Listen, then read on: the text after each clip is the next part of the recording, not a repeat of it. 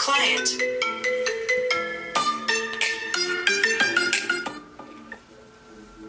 Hello. This is M. Yes, I can have your painting done by, say, Sunday. Okay. Goodbye.